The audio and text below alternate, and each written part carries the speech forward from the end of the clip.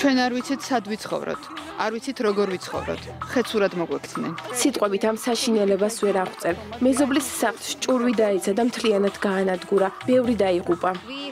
დაბომბვის დროს თავშესაფარში ვიმყოფებოდით. აქ დარჩენა უკვე შეუძლებელი იყო. ვიცი რომ არიან დაღუპულები და დაშავებულები. როგორი მხეცი უნდა იყო რომ რაკეტებით დაბომბოს საავადმყოფოები. ორკების სიმხეცე მთელმა მსოფლიომ უნდა ნახოს. კონტროლის სახელმწიფოს ინტერესის სახურება მსახურება რა თქმა უნდა ის ჩვენი ქვეყნის კეთილმოსურნე არ არის. საქართველოს მომავალზე ისაუბრეს ბადრი ჯაფარიძემ და ირმა ინაშუმა. რამდენი ჯაფარიძე არა ვარ. ის ის არის და ერთად ზეხართ. ქალბატონი ნატო ჩხეიძე დეპუტატი მაშინ იყო რომელმაც მისცა ხმა ამ რეზოლუციას.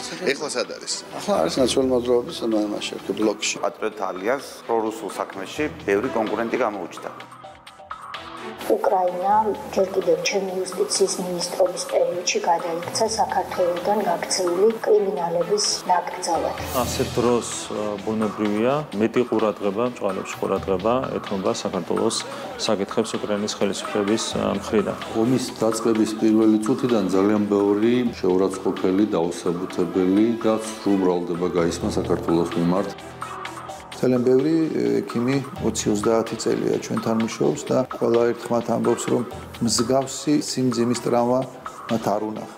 ჩვენ ძალიან გაგვიმართლა და ყველას ერთად შრომამ გამოიწვია ის რომ ბავშვი გადარჩა ცოცხალი. ბავშვთან დაკავშირებულმა პრობლემამ კიდევ ერთხელ შეგვახსენა ენის მოჩლექით საუბარი ამ თემაზე აღარ შეიძლება. ვაგრძელებთ იმის იმედს რა იმედიც მოგცა ეშვილის კლინიკამ რომ მალე დათი გაიგეს და იქნება ბედნიერი ბიჭი 1-1 2 გიცმეთ, მისამართი წავით რომელი რაიონია? ჩვენ მოვდივართ 112-ში და იქ მთავრდება სხვა ჩვენი პირადი ცხოვრება. ყოველი გადარჩენილი სიცოცხლე არის ჩვენს мотиваცია. პირველ რიგში სიზუსტეს და სისწრაფეს აქვს ძალიან დიდი მნიშვნელობა. ჩვენ ვართ ის ადამიანები, ვისაც უკავშირდებიან ყველაზე მძიმე წუთებში. ყოველი წამი ნებისმიერ სიტუაციაში, როდესაც მოქალაქეს ესაჭიროება დახმარება, ნამდვილად გადამწყვეტია. პირდაპირ ეთერშია იმედის კვირა ირაკლი ჩიხლაძესთან ერთად. საღამოშვიდობის შევაჯამოთ საინფორმაციო კვირა სააკაშვილი რომელიც კრემლის ხმა უკვე აღარ მალავს რომ მისი მიზანი ომში საქართველოს ჩართვა და სისხლის ხრა. ნაციონალური მოძრაობა ამისთვის უკრაინის სხვადასხვა უწყებებში დასაქმებულ ქართველებსაც იყენებს. ყოფილ მაღალჩინოსნებს საქართველოსში ძებნილებს, რომლებმაც უკრაინის ხელისუფლება შეაფარეს თავი და ახლა იქედან მოქმედებენ ქვეყნის ინტერესების წინააღმდეგ. საქართველოს იმიჯის შესალახად ყველა პლატფორმას იყენებენ და ავრცელებენ ყალბამბებს. ყალბი ამბების გავრცელება მათი მხრიდან ჩვეული ამბავია და არც გვიკვირს წლებია ვუყურებთ, თუმცა ამას აკეთებენ ომის პირობებშიც, მაშინ, როდესაც მთელი ცივილიზებული სამყარო უკრაინას უდგას გვერდით. ქართველი ყოფილი მაღალჩინოსნებისგან უკრაინის მხარდამჭერი განცხადებები კი არ გვესმის, არამედ პროვოკაციული განცხადებები საკუთარი სამშობლოს წინააღმდეგ. ამის თვითმხილველები ვართ რუსეთ-უკრაინის ომის დაწყების პირველივე დღიდან. უკრაინის დაზვერვის მიერ წამოყენებულ ბრალდებას, რომ საქართველოს მთავრობა რუსეთთან კონტრაბანდის შეტანაზეა შეთანხმებული, ოფიციალური კიევი დოკუმენტებით ამ დრომდე ვერ ადასტურებს. დაზვერვის განცხადების შინაარსი კი ასეთია: საერთაშორისო სანქციების დაწესების გამო რუსეთის ფედერაციამ დაკარგა სამხედრო ორმაგი დანიშნულება და სამოქალაქო საქონლის დიდი ასორტიმენტის მიწოდების შესაძლებლობა. ამიტომ სანქციებს რომ გვერდი აუარონ, რუსეთის აგენტები აყალიბებენ კონკრეტულ გზებს, რომლებიც კერძოდ საქართველოს ტერიტორიაზე გადის. ამასთან საქართველოს სპეცსამსახურების წარმომადგენლებს პოლიტიკურმა ხელმძღვანელობამ და დაავალა არ შეუშალონ ხელი კონტრაბანდების კონტრაბანდისტების საქმიანობას. ამ მძიმე ბრალდებიდან ერთი კვირა გავიდა. საქართველოს ხელისუფლება მტკიცებულებებს ითხოვს, თუმცა მტკიცებულებები არ ჩანს. ძნელი მისახვედრი არ უნდა იყოს. დინარის წყარო საიდან მივიდა კიევამდე ქვეყნისთვის დამაზიანებელი ყალბი ცნობა. მოდით პირდაპირ ვთქვათ, ომის პარტიად მოხსენიებული ნაცმოძრაობა უმძიმესი ბრალდებების ტირაჟირებითაა დაკავებული და უკრაინაში მყოფი სააკაშვილის მთავრობის ყოფილი მაღალ ჩინოსნები მიზან მიმართულად ცდილობენ უკრაინელი და ქართველი ხალხის დაპირისპირებას. თუმცა ეს ვერ გამოვათ ჩვენ დღესაც და მთელი ისტორიის განმავლობაში ყოველთვის გავართ ერთმანეთის გვერდით და ხალხთა შორის ყარ ურთიერთობას ვიწრო პარტიული ინტერესები ვერ გაიტანის. საკუთარი სამშობლო დაადანაშაულო უმძიმეს ბრალდებაში უკრაინის წინააღმდეგ კრემლთან თამაში არასებობს ამაზე დიდი ილუსტრაცია. მტკიცებულებების არარსებობის ფონზე მეტი სიმძაფრისთვის წაგებული ომის მინისტრის ტელეარხიც ერთვება პროცესში. ეს ალბათ ამ სიყალბის შემქმნელების გეგმა ბ-ა. ეთერში უშვებენ კადრებს, რომელსაც საერთო არაფერი აქვს უკრაინის ბრალდებასთან, მაგრამ სკანდალისტვის ქმნიან შთაბეჭდილებას თითქოს კონკრეტულ ფაქტს მიაკვლიეს და ხელისუფლება ამხილეს. ბევრია პასუხები, ბევრია კითხვები, თუმცა პასუხები ამ დრომდე არ არსებობს. უამრავი თხოვნის მიუხედავად, კიევიდან მაღალჩინოსნებიდან ინტერვიუზე არავინ დაგთანხმდა. ესეც აჩენს ეჭვს, თუ ვინ რა რეკომენდაცია გაუწია ტელეიმეთს ზელენსკის მთავრობაში. ინტერვიუზე უარი ყველაზე რეიტინგულ ქართულ არხს უთხრა ეს იმის ფონზე, როდესაც 0%-იანი არხის ეთერიდან უკრაინის ვიცე-პრემიერმა უმძიმესი ბრალდებები გააჟღერა. აუცილებლად გაიყვა ვინ დგას ამ ცილისწანებული ბრალდებების უკან, თუმცა საზოგადოება ამ ქვეყნის მოქალაქეები რომ შეურაცხყოფილები არიან, ეს ფაქტია. უკრაინა ჩვენი მოძმერია და ამ ურთიერთობას ხელს ვერც კრემლის ხმა, სააკაშვილი და ვერც ნაცმოძრაობის ანტისახელმწიფოებრივი პოლიტიკა შეუშლის. საქართველოს ელოდება დოკუმენტებს უმძიმეს ბრალდებებზე ან უარყოფას, რის გამოც შესაძლოა ქვეყნის იმიჯი არა, მაგრამ ორ ქვეყანას შორის ურთიერთობები დაზარალდა. ამ ყველაფერს წინ უძღოდა ელჩის გაწევაც, რომელიც უშუალო თვითმხევალი იყო თუ როგორ უდგას ომის დაწყების პირველივე წუთიდან საქართველოს მხარში უკრაინას. არსებობს ეჭვები, რომ ამ პროცესის უკანაც ნაცმოძრაობა და სწორედ მათ მიერ მიწოდებული ყალბი ამბების გამო პრეზიდენტმა ზელენსკიმ ელჩი გაიწვია. ჩემი შესავალი ტექსტის ერთგვარი გაგრძელება შორნახვიჩია სპეციალური რეპორტაჟი გიჩვენებთ ძებნილების ნაკრძალს სამშობლოდან გაქცეულებს რომლებიც ამ წუთებშიც კი ანტისახელმწიფოებრივი საქმიანობით არიან დაკავებულები. ომამდე ნაკრძალიდან ყველაზე სახიფათო და საკუთარი ქვეყნის ნომერ პირველი დამაზიანებელი გაიქცა და რუსთავის ციხეში აღმოჩნდა. სააკაშვილი ახლა საკნიდან ცდილობს იმას რაც თავისუფლებაზე მყოფმა საკუთარ ქვეყანას ვერ დაუშავა ზურაბადეიშვილი საქართველოში ბრალდებული და მსჯავრდებული არაერთ სისხლის სამართლის საქმეზე. უკრაინაში დაინიშნა გენერალური პროკურორის მრჩევლად. ბრალდებული და მსჯავრდებული გია ლორთკიფანიძე უკრაინაში დაინიშნა კონტრდაზვერვის უფროსის მოადგილედ. ამჟამად პატიმარი მიხელ სააკაშვილი. საქართველოში აღზრული საქმეების ფონზე დაინიშნა უკრაინის რეფორმების აღმასრულებელი კომიტეტის თავმჯდომარედ. უკრაინა ჯერ კიდევ ჩემი იუსტიციის მინისტრობის პერიოდში გადაიქცა საქართველოსთან გაქცეული კრიმინალების ნაკრძალად. კრიმინალების ნაკრძალს როცა წარმოიდგენთ, უნდა იცოდეთ, რომ საქმე მხოლოდ ამ სამ ადამიანს არ ეხება. გაგახსენებთ ალექსანდრე მუხაძეს, იგივე კილერას, რომელიც გლდანის ციხის უფროსი იყო ზუსტად იმ დროს, როცა ცნობილი ციხის კადრები გავრცელდა. კილერას პოლიტიკურად დევნილი სტატუსი უკრაინამ სულ რამდენიმე დღის წინ მიანიჭა. უშუალოდ მონაწილეობდა ადამიანის ციხე ადამიანების წარმოებაში და ეს არის დოკუმენტირებული ამაზე გადაღებული ვიდეოებიც კი არის მათივე გადაღებული და ეს ეს ყველაფერი არის ფაქტი და ამ ადამიანს მისცეს პოლიტიკური დევნილის თავშესაფარი. ამ სტატუსის მინიჭების შემდეგ ბუნებრივია უკრაინა საქართველოსი მის ექსტრადირებას აღარ განახორციელებს ისევე როგორც თანამდებობაზე დანიშნვით. უარი თქვა ზურაბადეიშვილის დაკავებასა და გადმოცემაზე. ადამიანი რომელიც იყო საქართველოსი კერძო ბიზნესის მთავარი დამატერორებელი და აი ეს ღამის გადაფორმებები რო ხდებოდა კერძო საკუთრების სახელმწიფოზე ამის ყველაფრის ორგანიზატორი იყო ზურა ბადეიშვილი. ადამიანი რომელმაც საქართველოსი გააქვმა სასამართლო. ადამიანი რომელსაც ბრალადდება თუნდაც კობა დავითაშვილის გატაცების ორგანიზება, რაც მისი უკანონო თავისუფლების აღკვეთით, სასტიკიცემით და ბოლოს წლების შემდეგ სიკვდილით დასრულდა. აი ამ ადამიანს როცა თანამდებობაზე ნიშნავ, აბსოლუტურად რბილად რო თქვა ძალიან გაუგებარი პოლიტიკაა და ძალიან არამეგობრული სახელმწიფოს მიმართ. კიდევ ერთი თანამდებობის პირი უკრაინაში გია ლორთკიფანიძეა, რომელიც საქართველოში არაერთ საქმეზეა ბრალდებული და მსჯავრდებული. სხვა დანაშაულებთან ერთად მისი გვარი უკავშირდება არაჟნის კონტეინერებით სააკაშვილის საქართველოში უკანონოდ შემოპარვის საქმესაც. თუმცა სულ ცოტა ხნის წინ ის უკრაინაში კონტრდაზვერვის უფროსის მოადგილედ დაინიშნა. ფონებრივი იქიდან ვერავით არ არგუმენტირებულ პასუხს ვერ მივიღებდით, როდესაც ხდებოდა კრიმინალების დანიშნა უკრაინაში მაღალ თანამდებობებზე. შესაბამისად არგუმენტები ვერ იქნებოდა წარმოქმნილი და არც იყო ბუნებრივია წარმოქმნილი. ნუ რა იყო ამის ასე ვთქვათ მიზეზი? ეს არის ყველაზე საინტერესო. დღეს ამის დრო არ არის, უკრაინა არის ომის გამარჯვებაში, თუმცა იმედია დადგება დრო, როდესაც ამ ყოველფერთან დაკავშირებით ქართული საზოგადოება ცოტა მეც გაიგებს. როცა უკრაინაში ნაციონალური მოძრაობის გავლენებზე საუბრობს ქართული ოცნების ლიდერი ახსენებს დავით არახამიას სახელსაც. მას ასახელებენ როგორც სააკაშვილთან დაახლოებულს და ამავე დროს არახამია არის პრეზიდენტ ზელენსკის უახლოესი გარემოცვის წევრი. როდესაც ასეთ მაღალ დონეზე უკავიათ თანამდებობები ნაციონალური მოძრაობის წარმომადგენლებს, ანუ აქაური რადიკალური ოპოზიციის წარმომადგენლებს, რა თქმა უნდა, ასეთ დროს კოორდინაცია არის ძალიან მჭიდრო, ანუ პირდაპირ არიან შერწყმული აქაური ოპოზიციის წარმომადგენლები იქ ხელისუფლებაში და ასე დროს ბუნებრივია მეტი ყურადღება, მწვალებში ყურადღება ეთმობა საქართველოს საკითხებს უკრაინის ხელისუფლების მხრიდან. ომის დაწყების პირველი წუთიდან ძალიან ბევრი შეურაცხყოფელი, დაუსაბუთებელი და სრულბრალდება გაისმა საქართველოს მიმართ და გაისმა ძალიან მაღალი თანამდებობის პირების მხრიდანაც მათ შორის, როდესაც ქვეყნის პრეზიდენტი გამოდის რომ ამბობს, რომ თქვათ ხალხი კარგია და ხელისუფლება არ არის კარგი.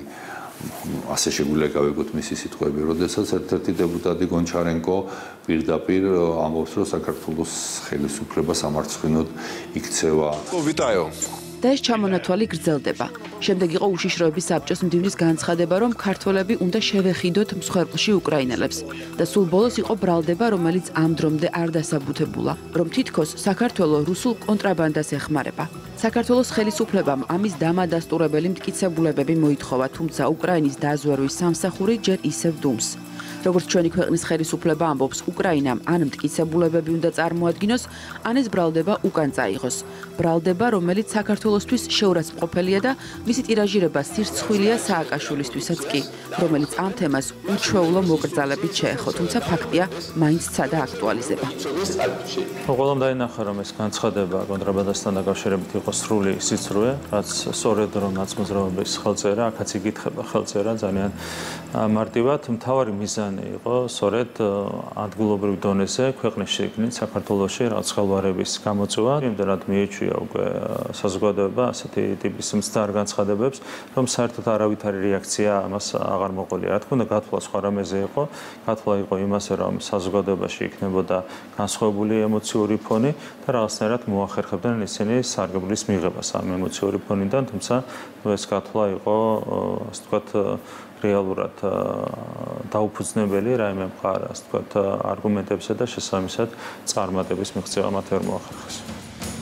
ერთ-ერთი წინა ასეთი შემთხვევა, რომლის დროსაც ირაკლი კობახიძის თქმით, ქვეყნის შიგნით მღელვარების გამოწვევა იყო დაგეგმილი, ელჩის გაწვევა იყო. ელჩი, რომელიც ცოტა ხნით ადრე სააკაშვილის თავდასხმის ობიექტიც გამხდარა, რადგან იგორ დოლგოვი თავისი განცხადებებით ცდილობდა, რომ ორი ქვეყნის ურთიერთობა სააკაშვილის ქმედებებზე არ ყოფილიყო დამოკიდებული. სამწუხაროდ საქართველოს ყოფილი პრეზიდენტის მოწოდებები არ გვეხმარება ჩვენს ქვეყნებს შორის ნდობაზე დაფუძნებული ატმოსფეროს შენარჩუნებასა და ორმხრივი ურთიერთობის სტრატეგიული პარტნიორობის განვითარების კუთხით. შესაბამისად, ვიმედოვნებ, რომ ერთი კონკრეტული პირის, ერთი კონკრეტული აზრი ვერ დააზიანებს ჩვენს მეგობრობასა და ჩვენი ხალხების სურვილს უფრო მეტად დაახლოვებასთან დაკავშირებით. ეს განცხადება უკრაინის ყოფილმა ელჩმა ერთი წლის წინ გააკეთა, როცა სააკაშვილი საქართველოსში მორიგ არეულობას გეგმავდა და ძალადობრივი მოწოდებებით გამოვიდა. მარტივად რო ვთქვათ, უკრაინის მოქალაქე სააკაშვილი პირდაპირ არღვევდა საქართველოს კანონმდებლობას და ამაზე ჩვენი ქვეყანა პასუხს ითხოვდა. საქართველოს ამ პერიოდში უკრაინიდან ელჩიც გამოიწვია და 11 თვის შემდეგ დააბრუნა. რა თქმა უნდა, სააკაშვილს არ შეუწყვეტია საქართველოს შიდა პოლიტიკაში ჩარევა და ბოლოს არჩევნებისთვის არალეგალურად შემოიპარა არაჟნის კონტეინერი. ხარით. ეს საქართველოსი კითხებსაც ბადებს და ეჭვებსაც, თუმცა ისევ იმიტომ, რომ უკრაინა ახლა ომშია, ამ თემის გამწვავებისგან ისევ თავს იკავებენ. ფინვის გასწრებს და დაწინაურდება კრემლის კარზე მოსკოვშია პატრიოტთა ალიანსი. ლიდერების მხრიდან ნეიტრალიტეტზე საუბარმა საზოგადოების პროტესტი გამოიწვია. პატრიოტებამდე ცოტა უფრო ადრე სამშვიდობო პოლიტიკაზე დიმიტრი ლორთქიფანიძე საუბრობდა. ისიც რუსეთში იმყოფებოდა და მანაც ჩახედა ოკუპანტებს თვალებში. რუსეთს ნაცმოძრაობის წევრი ნატო ჩხეიძეც ხშირად სტუმრობდა. ჯერჯერობით არჩანს ნინო ბურჯანაძე. ფაქტია, ოპოზიციურ ფლანგზე პუტინისადმი რევერანსებში დიდი შეჯიბრია. სანდრო გამსახურდია სპეცრეპორტაჟი. საქართველოს ომში ჩათრევა უნდათ და დიალოგი მოსკოვთან ნეიტრალიტეტზე ახლა ლაპარაკი, იმიტომ აუცილებელი რომ ჩვენ ავწდეთ უბედურებას, საქართველოს აცდეს უბედურებას. ეს ამონარიდია პოსტიდან, რომელიც ირმაინაშულმა Facebook გვერდზე მოსკოვიდან გამოაქვეყნა. ოკუპანტი ქვეყნის დედაქალაქიდან, სადაც პოლიტიკურ მეწყვილესთან ერთად ჩავიდა. ინაშულ თარხან მოურავის დუეტი მოსკოვს მაშინ ეწვია, როდესაც რუსული არმია უკრაინულ ქალაქებს ისევ ბომბავს. კრემლი კი ფაქტობრივად სრულ პოლიტიკურ და ეკონომიკურ იზოლაციაშია. შეუფერებელ დროს, შეუფერებელ ადგილას მყოფი პატრიოტთა ალიანსის ლიდერები პოლიტიკური ორგანიზაციის სახელწოდების საპირისპიროდ მოქმედებენ. არანაირი მანდატი არ აქვთ და მოსკოვიდან საქართველოს ნეიტრალიტეტზე საუბრობენ. შვიდობაზე ვლაპარაკობთ, ნეიტრალიტეტზე ვლაპარაკობთ, იგივე ნეიტრალიტეტზე ვლაპარაკობ ზელენსკი. ჩანსინაშულ თარხან მოურავის პოლიტიკური წვლილი მოსკოვში შიშმა ჩაიყვანა. შიშმა რომ შესაძლოა კრემლის მთავარი დასაყრდენის სტატუსი დაკარგო, რადგან მათ რუსეთში ჩასვლა და ოკუპანტი ქვეყნიდან საქართველოს ნეიტრალიტეტზე საუბარი უკვე დაასწრო დიმიტრი ლორთქიფანიძე. ახლა სამუშაო შეხვედრაზე ვარ, ვერ გესაუბრებით. რუსეთში ბრძანდებით? მოსკოვში დიახ. ირმაინაშულთან დაკავშირება რამდენჯერმე ვცადეთ. ტელეფონით, სოციალური ქსელით. ალიანსის ლიდერს იმედის კვირასთან ინტერვიუ არ სურს. გვინდოდა მოგესმინა პასუხი კითხვაზე, რატომ საუბრობენ ქართველი ხალხის სახელით და ოკუპანტი ქვეყნის დედაქალაქიდან რატომ ახმოვანებენ თემას, რომლის თბილისში გააქტიურება მსჯავრდებულმა და ბრალდებულმა ექს-პრეზიდენტმა ვერ შეცვლა. იგეგმება პროვოკაცია ჩვენი ოკუპირებული ტერიტორიების შიგნით და გამყოფ ხასთან რის შემდეგაც ეს პროვოკაცია დაბრალდება საქართველოს ოპოზიციურ ჯგუფებს. ის შემდეგაც რუსეთის თავობა მოთხოვს საქართველოს თავობას დაუპოვებულ ნეიტრალიტეტის გამოცხადებას და საქართველოს თავობა მზად იქნება გამოაცხადოს ნეიტრალიტეტი სააკაშვილის ამ განცხადებების შემდეგ თემის გააქტიურება მისმა კონტროლირებადმა მედიამ სცადა. საკითხს რამდენიმე რეპორტაჟი მიეძღვნა. ნაციონალური მოძრაობის წევრ რომან გოცირიძეს ვკითხეთ, რატომ გაახმოვანა კრემლის სურვილი სააკაშვილმა პირველმა და ხომ არ არის პატრიოტთა ალიანსის ვიზიტი მოსკოვში ამ ამბის ლოგიკური გაგრძელება. უკრაინაში ომის დაწყებამდე 13 დღით ადრე 53-მა პრორუსულმა ორგანიზაციამ გააკეთა განცხადება და მიმართა რუსეთს საქართველოს ნეიტრალიტეტის მოთხოვნით. რეაგირება მოყვა საზოგადოებაში, მათ შორის პოლიტიკურ პარტიებში. და სწორედ ამის გამოძახილი იყო იყო მიხელ სააკაშვილის განცხადება. პატრიოტთა ალიანსი და ყველა ეს 53 ორგანიზაცია უფრო მეტის, რომელმაც ნეიტრალიტეტის თემაზე რუსეთს მიმართა, არის ქართული ოცნების მართული ორგანიზაცია, რომელიც რუსეთის ინტერესებს ატარებს საქართველოს და გიდ მეყოთე კოლონა დაუძახეთ და გიდ მეათე კოლონა არის. თქვენი კოლეგები რატომ მართავენ მათთან შეხვედრას მაშინ? თქვენ არ გაქვთ კითხვები? ბადრი ჯაფარიძე მაგალითად მართავდა შეხვედრას. საქართველოს მომავალზე ისაუბრეს ბადრი ჯაფარიძემ და ირმა ინაშუმა. რამდენი ბადრი ჯაფარიძე არა ვარ. თქვენ კოლეგა არის და ერთადერთზე ხართ და ალიანსშიც იყავით ერთად. ეს მას კითხეთ. პატრიოტთა ალიანსი და ქართული ოცნება ერთი და იგივე რომ არის ნახეთ ორჯერ გამოიტანეს რეზოლუცია პარლამენტში ნაციონალური მოძრაობის აკრძალვის შესახებ და 4 თუ 5 ხმა დააკლდათ ისინი პარლამენტში იყვნენ 6 კაცი ნატო ჩხეიძე ვის რიგებშია ნატო ქალბატონი ნატო ჩხეიძე დეპუტატი მაშინ იყო რომელმაც მისცა ხმა ამ რეზოლუციას. ეხლა სად არის? ახლა არის ნაციონალური მოძრაობის მაშინ ბლოკში. მაშინ პატრიოტთა ალიანსთან მისცა ხმა ამ ასაგებია ეს არგუმენტი არაფერს არ ცვლის. ფაქტია მიხელ სააკაშვილის მიერ თბილისში გახმოვანებული ნეიტრალიტეტის თემა პატრიოტთა ალიანსმა მოსკოვში ჩაიტანა. მართულ გუნდში უჭირთ დაჯერება რომ ნაციონალური მოძრაობა და პატრიოტთა ალიანსი შეთანხმებულად არ მოქმედებენ. შენ როცა გინდა რომ ამ თემის მუსირება დაიწყო ამითი პრესის კვილზე ასხამ წყალს. ეს არის ამბანური ჭეშმარიტება. და ზუსტად ამ აი ამ ამ კალაპოჩი ჩაჯდა ზუსტად თანხვედრილად პატრიოტ ალიანსი. ზუსტად იმ გზაზე ახლა დადიან თავში სააკაშვილი ბოლოში ეს ადამიანები ვის დღეს მოსკოვში ჩავიდნენ და ეს თვალხილულია. სააკაშვილის პარტია და მისი მოკავშირეები ორმაგი სტანდარტებით რომ მოქმედებენ ეს არ ახალია. სწორედ ამიტომ არ შექმნია უხერხულობა ნაციონალურ მოძრაობას როდესაც პატრიოტთა ალიანსიდან პორტირებულმა ნატო ჩხეიძემ სწორედ მათი სახელით იყარა კენჭი. არც რადიკალების პარტნიორ ლელოს ერთ-ერთ ლიდერს ბადრი ჯაფარიძეს უგზნია უხერხულობა როდესაც ერთი თვის წინ ირმაინაშვილს საიდუმლოდ შეხვდა. როგორც მაშინ ითქვა ქვეყნის მომავალზე სასაუბროდ. დიდი ალბათობით სწორედ ნაციონალური მოძრაობის ლიდერის დავალებით. რას ფიქრობ სინაშულ თარხან მოურავის მოსკოვში ვიზიტზე ამაზე ჩვენთან სასაუბროდ ბადრი ჯაფარიძემ დრო ვერ გამონახა.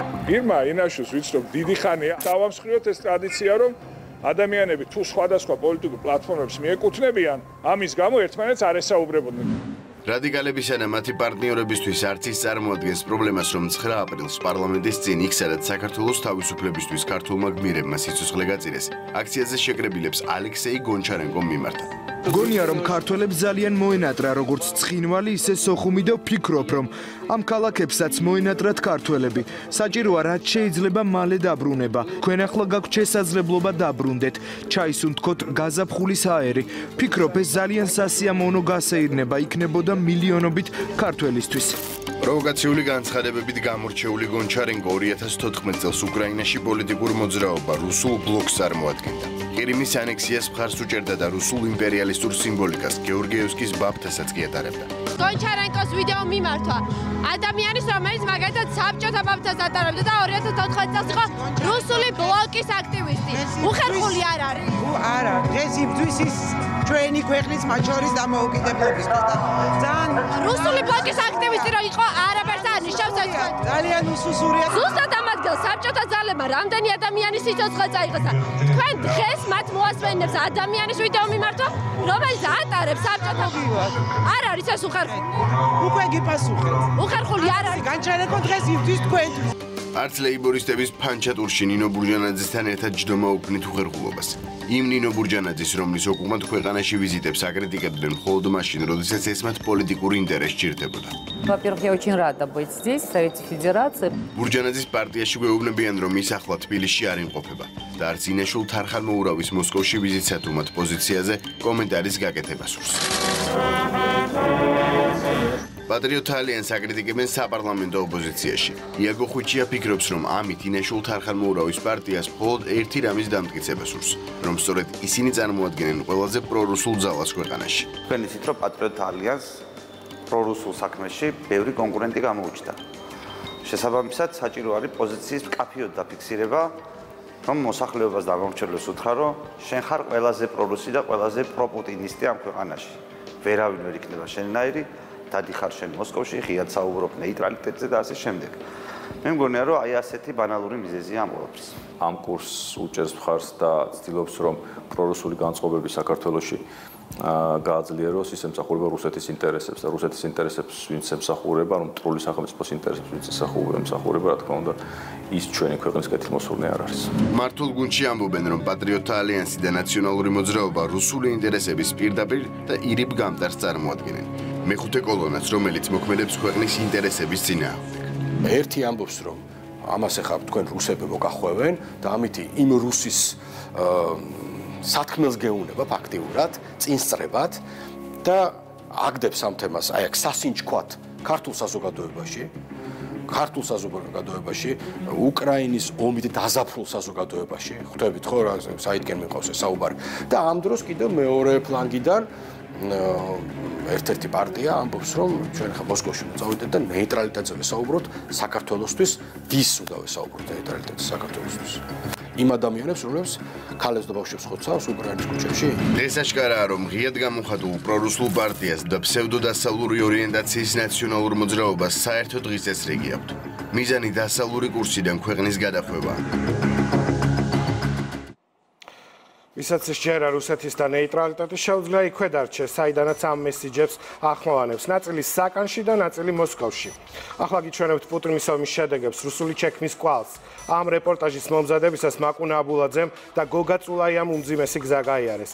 ფაქტობრივად სიცოცხლის რისკის ფასად, რადგან უკრაინელმა მებრძოლებმა გააფრთხილეს, რომ მიწასთან გასწორებულ გადამწვარ ქალაქებში ოკუპანტებმა დატოვეს ნაღმები, აუფეთქებელი ჭურვები და იქაც კი სადაც არ ელოდნენ ნებისმიერ ნაბიჯ ლარჯი შესაძლოა ყოფილიყო საბედისწერო. აჩრდილებად ქცეული ქალაქები ნახეთ იმედის კვირის სპეციალურ რეპორტაჟში.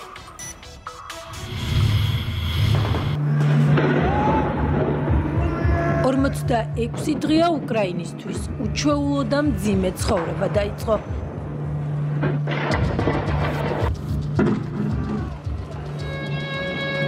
ჩვენი საკუთარი თვალით ნახეთ ის, რასაც რუსული სისასტიკე ჰქვია და ბომბილი გადამწვარი, განადგურებული ქალაქები, ქუჩები, სახლები და ადამიანების დასრულებული სიცოცხლე.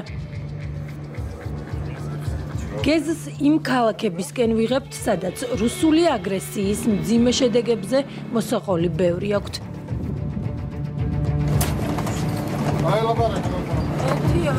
პირველი ბუჩაში შევდივართ.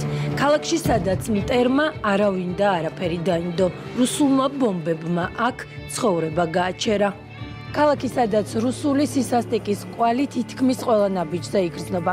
აქ ჩამოსულებს შემზარავი სურათი დაგხვდა 21 საუკუნეში. სასაკლაო გამოიყურება ასე. უკრაინელი ხალხის გენოციდის ამსახველი ეს კადრები ისტორიას შემორჩება. სიკვდილის მანქანამ აწამა და მოკლა ქალი, ბავშვი, კაცი. არ დაინდო არავინ.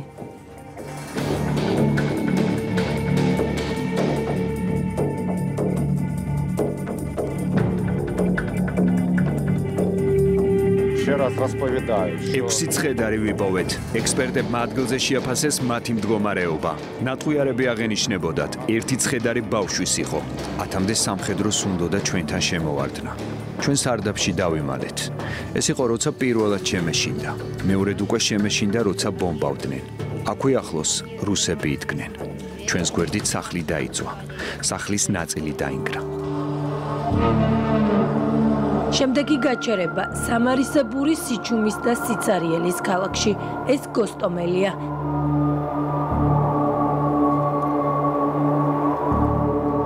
საფლავების საცხოვრებელი корпуსების ეზოებში ამ სიჩუმეს კიდევ უფრო შემზარავს ხდის მიშა ალექსანდრე. ისინი რუსულმა ბომბებმა იმსხვერპლეს. საცხოვრებელი სახლის ამ სარდაფში 50-მდე ადამიანი, მათ შორის ბავშვები, სიცივესა და სიბნელეში ერთი თვის განმავლობაში რუსული ბომბებისგან იცავდნენ თავს. სიკვდილს და ოკუპანტების სისასტიკეს გადარჩენილები ახლა აქ და ასე ცხოვრობენ. ადამიანები წყლის, შუქის და გათბობის გარეშე დანგრეული корпуსების სარდაფებში განაგრძობენ ცხოვრებას. ჩვენ აქ თვენახევარი გავატარეთ უწყლოდ უშუქოთ გაზის გარეშე. საჭმელს კოცონზე ვამზადებთ.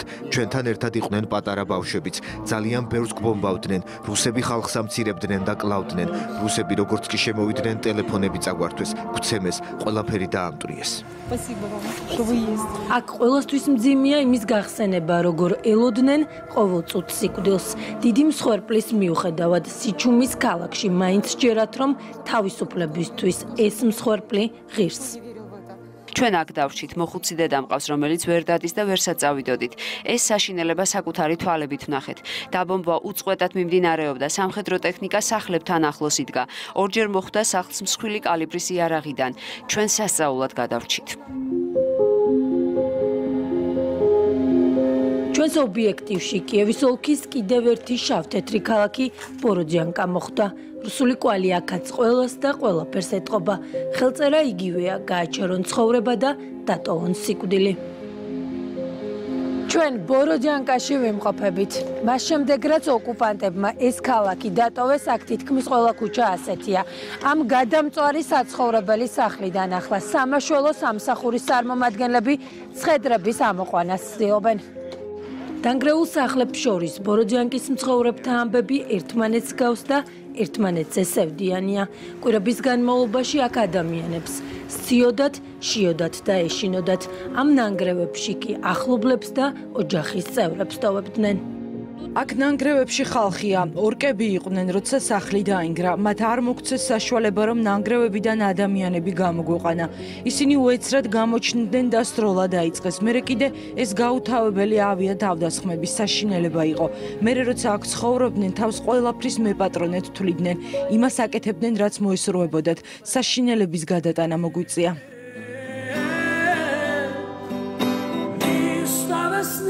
დღეს მის ქვეყანაში ომია და ცდილობს ყველგან იყოს სადაც საჭიროა, სადაც ხალხს გამხნევება ან თანადგომა სჭირდება.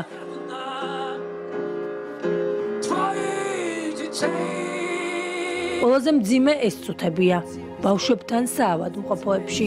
ტკივა, მაგრამ მაინც მიდის, რომ მთელ მსოფლიოს ანახოს რა ხდება რეალურად ფრონტის წინახაზზე.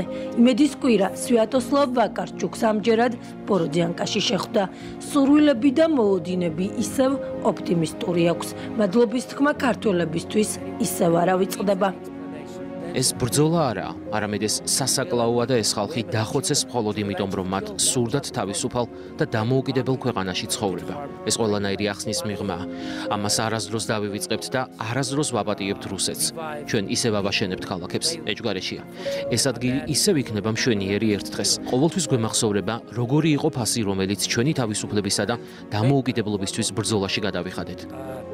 მადლობა საქართველოს მადლობა საქართველოს თქვენი მხარდაჭერისთვის. ქართული ხალხი ჩვენი მეგობარია და უკრაინელები მადლიერნი ვართ ყველაფრისთვის, რასაც ჩვენთვის აკეთებთ. საკუთარ თავზე ყველა საქმით უკეთ საუბრობს, ხოდა რუსეთი ზუსტად აი ასეთია.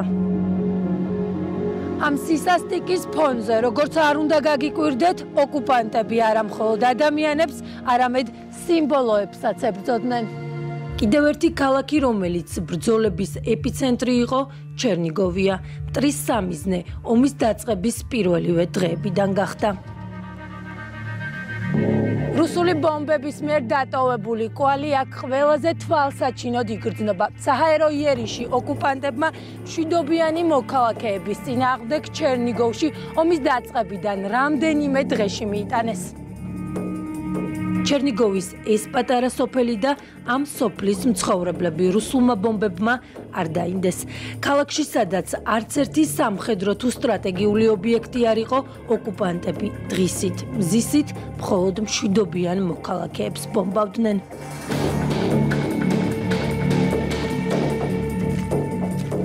ისინი ამბობენ, რომ ომია, რომ ანტიტერორისტულ ოპერაციას ატარებენ. როგორი მხეცი უნდა იყო, რომ რაკეტებით დაბომბოს საავადმყოფოები. ეს დანაშაულია, რომელიც აუცილებლად უნდა გამოიძიონ. ორკების სიმხეცე მთელმა მსოფლიომ უნდა ნახოს. ჩვენ არ ვიცით სად ვიცხოვროთ. არ ვიცით როგორ ვიცხოვროთ. ხეცურად მოგვექცნენ. სიტაკვი. ყველა ხედავს რა მდგომარეობა აქ. სიტყვები აღარ ყოფნის.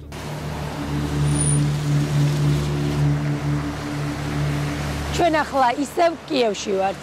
კიევის სიმშვიდეს დრო და დრო მხოლოდ განგაშის ხმარღვევს, რაც იმას ნიშნავს, რომ ომი არ დასრულებულა და ის ჯერ ისევ გრძელდება.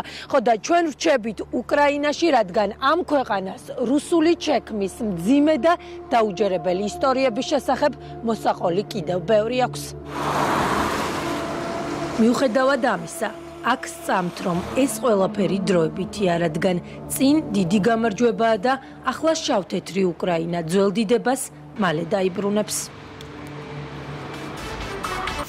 რამდენიმე წუთის წინ უკრაინის გენერალურმა პროკურატურამ გაავრცელა ინფორმაცია რომ კიევის რეგიონში 1200-ზე მეტი ცხედარი იქნა აღმოჩენილი ეკლესია მონასტრებში უკრაინის მშვიდობისთვის აღავლენენ წირვას. საკვირაო ქადაგებებში ჩვენს მოძმეერს დიდი დრო ეთმობა. ერი და ვერი უკრაინაში მშვიდობისთვის ლოცულობს. ქადაგებაში დღეს უკრაინაზე ისაუბრა ბოდბელმა ეპისკოპოსმა. ჩვენ შეგვიძლია მისი ქადაგება ვცლად მოვისმინოთ.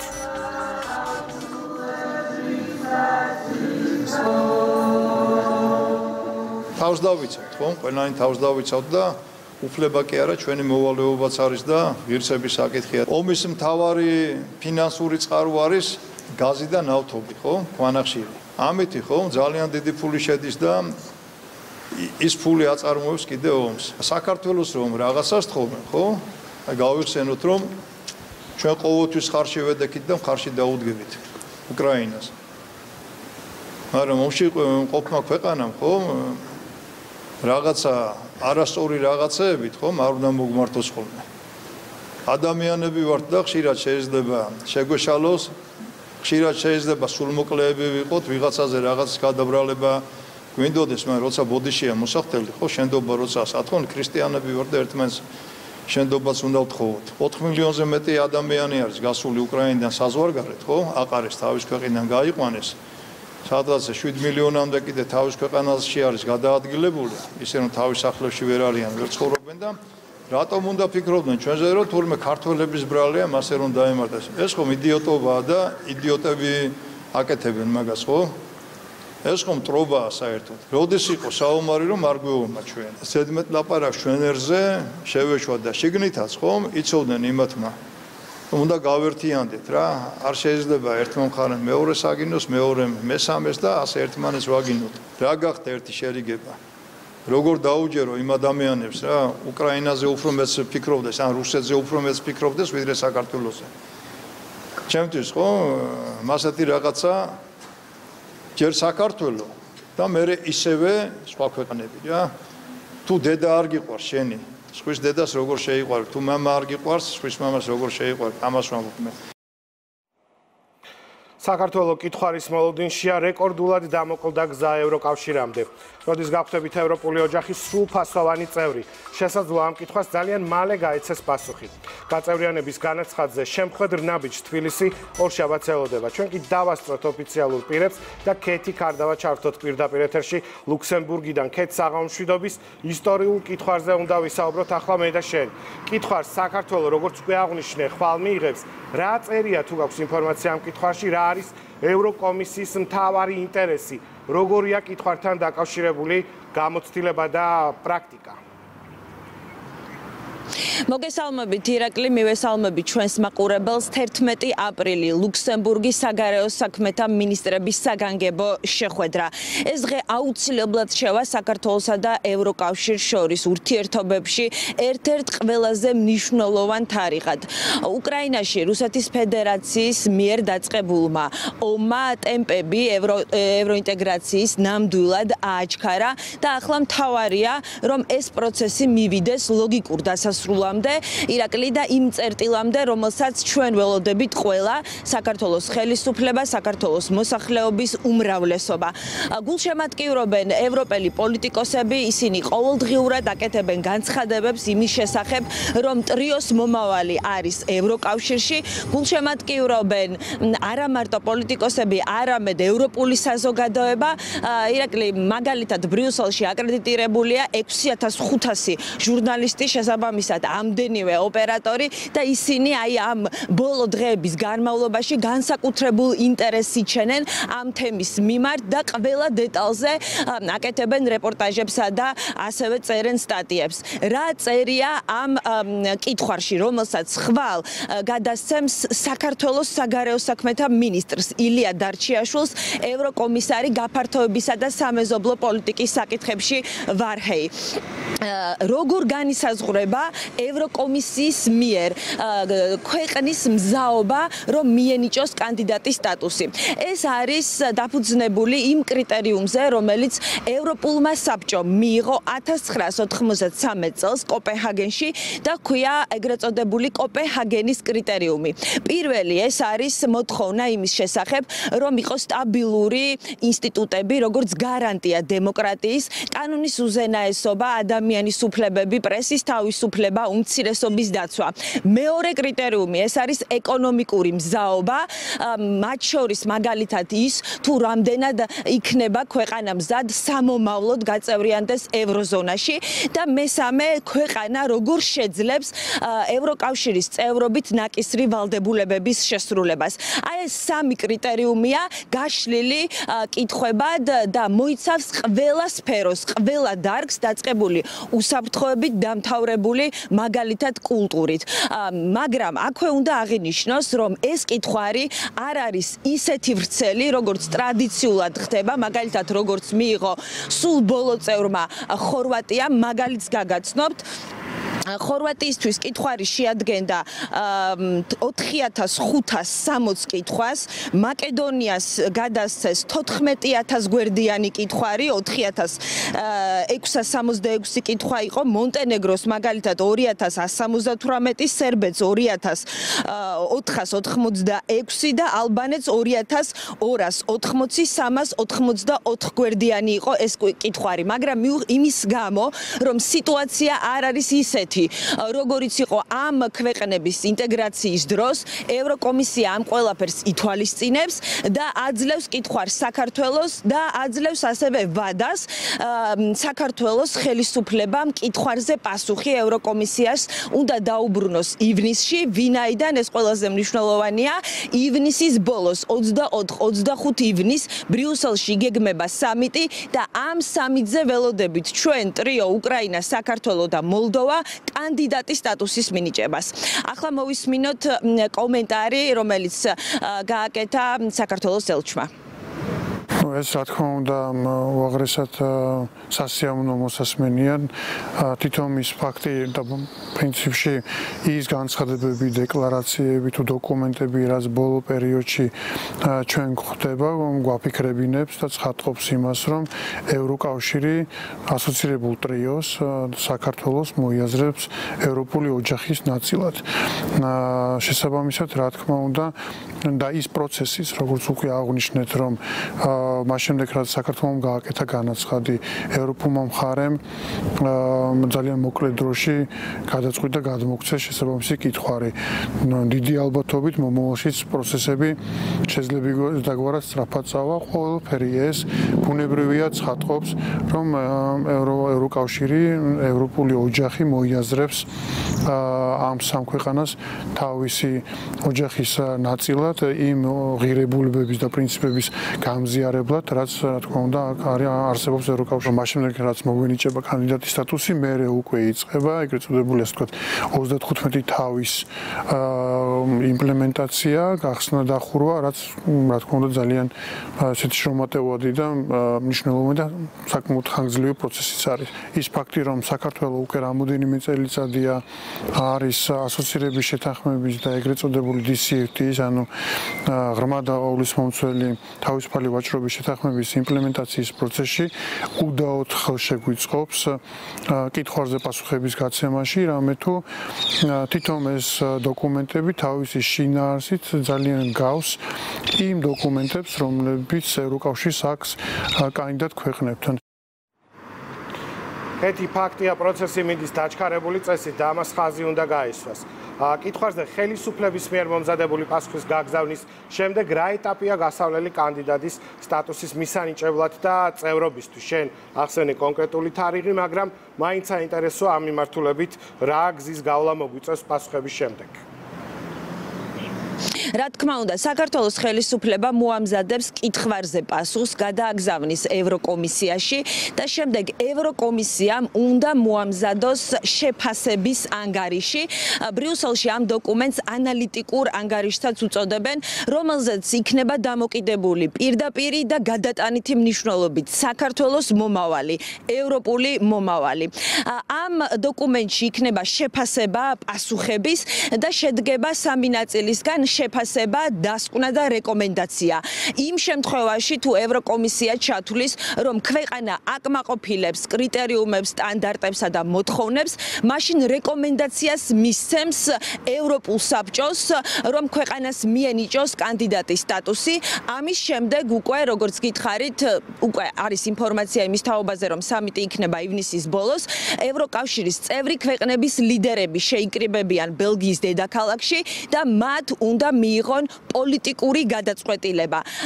იმის შემდეგ რაც ისინი მიიღებენ პოლიტიკურ გადაწყვეტილებას და ვიმედოვნოთ რომ ზუსტად ასე იქნება და ასე უნდა იყოს, ამის შემდეგ უკვე გაიხსნება მოლაპარაკებები მომავალი წევრობის შესახებ, რომელიც არის 35 თავიანი, არის ძალიან გრძელი პროცესი. უნდა აღინიშნოს აუცილებლად ირაკლი ის, რომ ახლა ჩვენ ველოდებით არა წევრობას, რომ მაყურებელი არ შევიდეს შეცდომაში, არამედ კანდიდატი კანდიდატის სტატუსს. თუმცა ისე დეტალურად ყვები და ისეთი ოპტიმისტური განწყობა გაქვს, რომ ძალიან მალე უნდა იყოს წესით ეს ისტორიული დღეც. კეთი, უკრაინას ევროკომისიის პრეზიდენტმა მე უკრაინის ნაწილს ვერანაირად ვერ ჩაული გვერდს გადასცა კითხვარი კიევში. რა მოლოდინი აქვს კიევს? თუ გააქვს შენ ინფორმაცია იმის გათვალისწინებით, რომ ქვეყანა ომშია და რთული პერიოდია უკრაინას დღეს რეფორმებზე საუბრის კონტექსტში ვინმე რამე მოსთხოვეს. მართალია, უკრაინა იყო პირველი, რომელმაც გააკეთა განაცხადი ევროკავშირში მომავალი წევრობის შესახებ და პირველმა მიიღო კითხვარი საქართველოს და მოლდოვა ხვალ ერთად მიიღებენ. უკრაინის პრეზიდენტს ევროკომისიის პრეზიდენტმა გადასცა ეს დოკუმენტი და აქ საინტერესო იყო თუ რა თქვა ევროკომისიის პრეზიდენტმა. მან ამ პრესკონფერენციაზე რამდენჯერმე ხაზგასმით აღნიშნა, რომ ამ პროცესს როგორც წესი ტრადიციულად სჭირდება რამდენიმე წელი, მაგრამ როგორც კომისიის პრეზიდენტმა თქვა, ამ შემთხვევაში ამ ყველაფერს დასჭირდება რამდენიმე კვირა. ეს იყო ძალიან პოზიტიური სიგნალი, რა თქმა უნდა, და იმედის მომცემი. ასევე არის უკვე ინფორმაცია იმის შესახებ, რომ კითხვარი არის 40 გვერდიანი უკრაინისთვის, მხოლოდ და მხოლოდ ეს ზუსტად იმის გათვალისწინებით, რომ შეუძლებელია ახლა უკრაინამ ან რეფორმების გატარება მოასწროს, ან სხვა ნაბიჯები გადადგას ქვეყანაში არის ფართომასშტაბიანი ომი. უკრაინის პრეზიდენტი ამბობს, რომ გააკეთებს მაქსიმუმს იმისათვის, რომ ძალიან მალე იყოს ქვეყანა მზად და ევროკომისიამ პირობა მისცა პრეზიდენტ ზელენსკის, რომ 24 საათის განმავლობაში ისინი იქნებიან ხაზზე ოფიციალურ კიევთან იმისათვის, რომ პასუხი იყოს ისეთი, როგორც სურს უკრაინას. მე ვარ უკრაინელებთან ერთად, უკრაინელების ოცნებაში. უკრაინა ეკუთვნის ევროპას. ჩვენ თქვენი მოთხოვნა ძალიან ხმამაღლა და მკაფიოდ გავიგეთ. აქ ვარ დღეს იმისთვის, რომ უკრაინას პირველი პოზიტიური პასუხი გავცეთ. ამ კონვერტში უმნიშვნელოვანესი ნაბიჯია უკრაინის ევროკავშირში გასაწევრიანებლად. ეს არის კითხვარი, რომელზეც უახლოესი რამდენიმე კვირის განმავლობაში მზად ვართ უკრაინასთან ერთად 7 დღის და 24 საათის მანძილზე ვიმუშაოთ. ეს არის წერტილი, საიდანაც უკრაინის ევროკავშირში გაწევრიანება იწყება. ეს არ იქნება როგორც ყოველთვის წლებზე გაწერილი პროცესი, მოსაზრებების მოსამზადებლად. საუბარია რამდენიმე კვირაზე. კითხვარის შემდეგ იქნება ნათელი სურათი თუ რამდენად მზად არის ქვეყანა. ამასაც ტრადიციულად წლები სჭირდება. ბევრი კითხვაა და მათგან მხოლოდ ერთი არ წყვეტს ევროკომისიის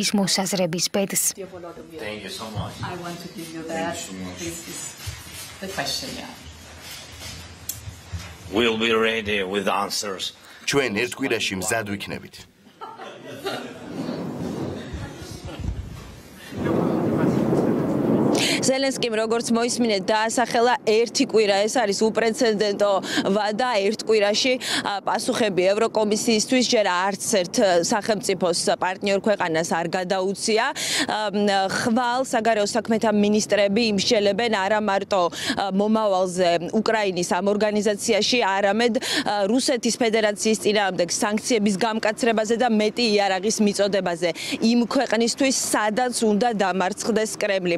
და ბოლო ბოლოს ირაკლი 2008 წელს, როდესაც პირველად ჩამოვედით ევროპის პოლიტიკურ ცენტრში სამუშაოდ, მაშინ ჩემი ოცნება იყო, რომ რა თქმა უნდა, პირველ რიგში გამეკეთებინა სიუჟეტი იმაზე, თუ როგორ გაწევრიანდება საქართველოს ევროკავშირში, როგორ მიიღებს მანამდე კანდიდატის სტატუსს და ასევე გაერთიანდება ნატოში. მე მგონი ძალიან მალე გვისრულდება ოცნება და ამ სიუჟეტსაც მოვესწრებით. რა თქმა უნდა წარმატებები ქეთის და ლუქსემბურგიდან ხვალდილიდან რა ქრონიკის მაყურებლისთვის გააგრძელებს მუშაობას.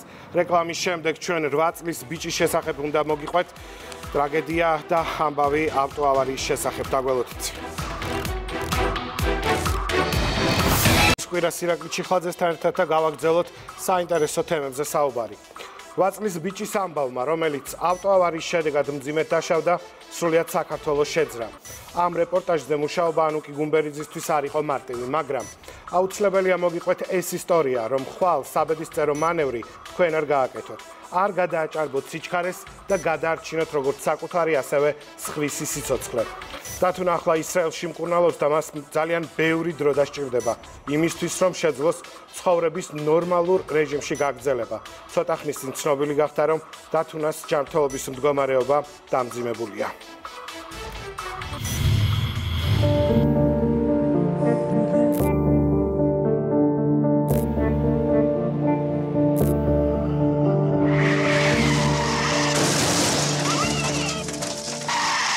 ერთმა წამმა ვაწლის ბიჭის ცხოვრება სამუდამოდ შეცვალა.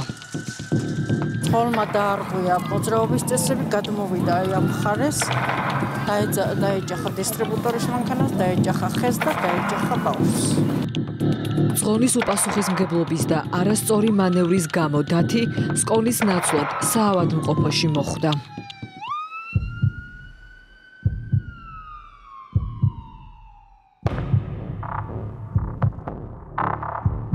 მოზარდი იაშვილის ბავშვთა კლინიკაში უმძიმესი დაზიანებებით შეიყვანეს. მედპერსონალი უდიდესი გამოწვევის წინაშე აღმოჩნდა.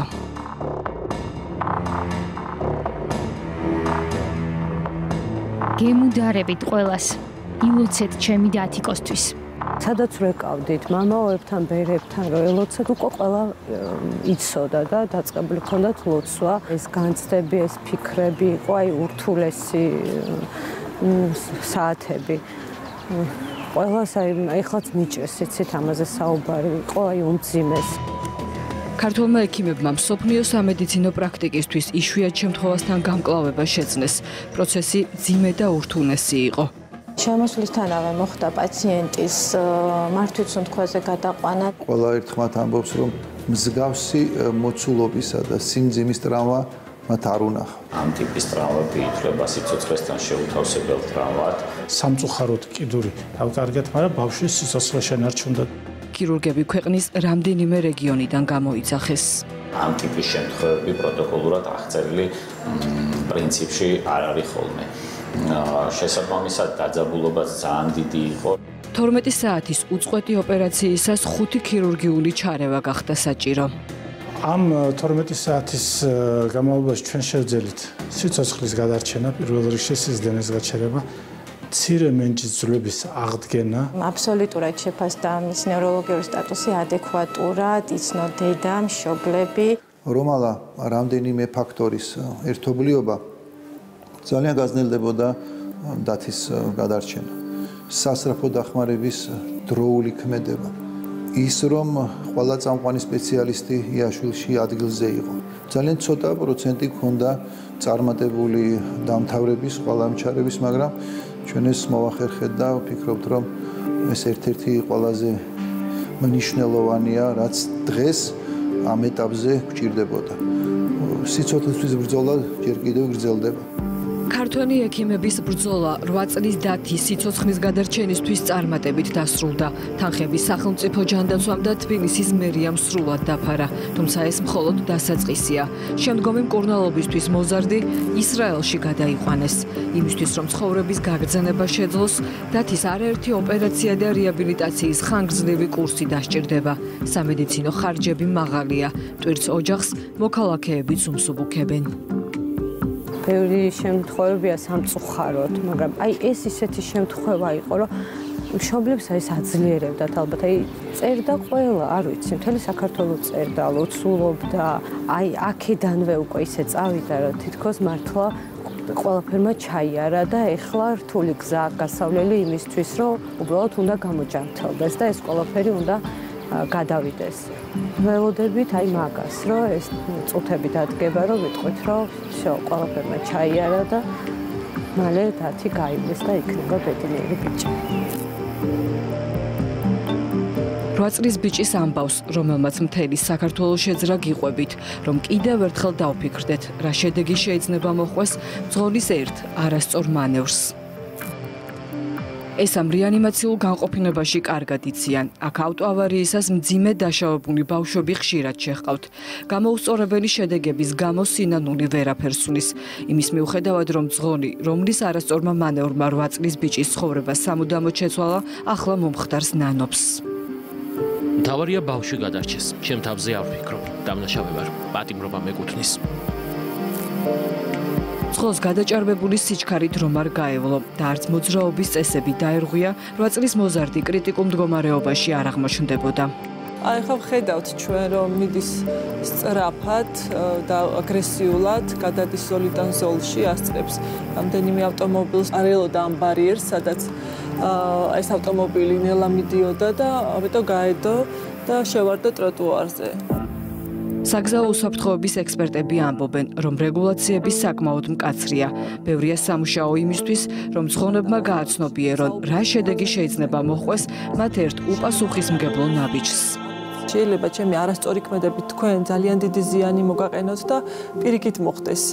ამიტომ ეს არის უდიდესი პასუხისმგებლობა არა მხოლოდ საკუთარი თავის მიმართ, არამედ სხვისი უსაფრთხოების მიმართ. მნიშვნელოვანია ისეთ მომაკვდინებელ და ისეთ ფატალური შემთხვევის მქონე დარღვევებზე, როგორიც არის სიჩქარის გადაჭარბება, არასწორი მანევრირება, როგორც ვნახეთ ჩვენ უხეში ზოლიდან ზოლში გადასვლა, ამ ტიპის დარღვევები, დარღვევებზე ქულების ჩამოკლება ხდებოდეს ჭკვიანი კამერების მეშვეობით. ეს არის აუცილებლად მოკლე დროში შესაძლებელი საკანონმდებლო ჩანაწერი. მოდი გულზე ხელი დავიდო და თქვათ, ამ ბოლო დროს ასფალტი რო იგება, ამ ამ ბოლო დროს რო გზები წესიგდება, ამდენი არასოდეს არ გაკეთებულა. ჩვენიერი მანქანებია, ტექდათვალიერება გავლი. აბა რა რჩება? რჩება ადამიანის ფაქტორი. და ეხლა ის დრო დადგა, აი ამ ბავშვმა კიდევ ამ ბავშვთან დაკავშირებულმა პრობლემამ კიდევ ერთხელ შეგვახსენა, რომ ენის მოჩლექით საუბარი ამ თემაზე აღარ შეიძლება. დაამთავრდა. ადა ისიც დაგვარწმუნა, რომ მხოლოდ ჯარიმების გაზრდა ეს არ იქნება არ არის შედეგის მომტანი. რამდენად დიდია გამოწვევა ამაზე სტატისტიკაც მეტყვანებს. 2021 წელს წინა წელთან შედარებით ავტოსაგზაო შემთხვევების რიცხვი გაიზარდა. ყველაზე ხშირად კი ავტოავარია თბილისში ხდება. 2020 წლის მონაცემებით ავტოავარიების შედეგად დაშავდა 2727 ადამიანი, დაიღუპა 70. 2021 წლის მონაცემებით დაიღუპა 56 ადამიანი, დაშავდა 3219. ავტოსაგზაო შემთხვევისას 2020 წელს 7 წლამდე ასაკის 9 ბავშვი გარდაიცვალა, დაშავდა 209. დაიღუპა 8-დან 16 წლამდე 11 მოზარდი, დაშავდა 365. 2021 წელს კი 7 წლამდე 3 ბავშვი გარდაიცვალა, დაშავდა 287, ხოლო 8-დან 16 წლამდე დაიღუპა 6 და დაშავდა 467. როცა წამები გადამწყვეტია ამ ფრაზისას უმრავლესობას 1-1-2 გვახსენდება და ის სამსახური რომელიც მოქალაქეთა უსაფრთხოებასა და ჯანმრთელობაზე 24 საათიან რეჟიმში ზრუნავს. საზოგადოებრივი უსაფრთხოების მართვის ცენტრს ბოლო 2 წლის განმავლობაში პანდემიის პირობებში განსაკუთრებული დატვირთვით მოუხდა მუშაობა.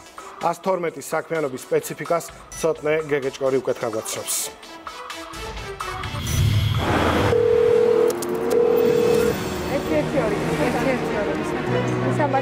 დღეს იმ სტრატეგიული ობიექტის მუშაობის სპეციფიკას გიჩვენებთ, რომლის გარეშე წარმოუდგენელია 21 საუკუნეში სიმშვიდის უსაფრთხოებისა და ჩვენი მოქალაქეების სიცოცხლის გადარჩენა. ამ საზოგადოებრივი უსაფრთხოების მართვის ცენტრის გამართულ მუშაობაზეა დამოკიდებული პოლიციის სამაშველო სასტრაფო სამედიცინო ჯგუფების კოორდინირებული ფუნქციონირება. ეს ადგილი არის თვალი და ყური ჩვენი უსაფრთხოებისთვის.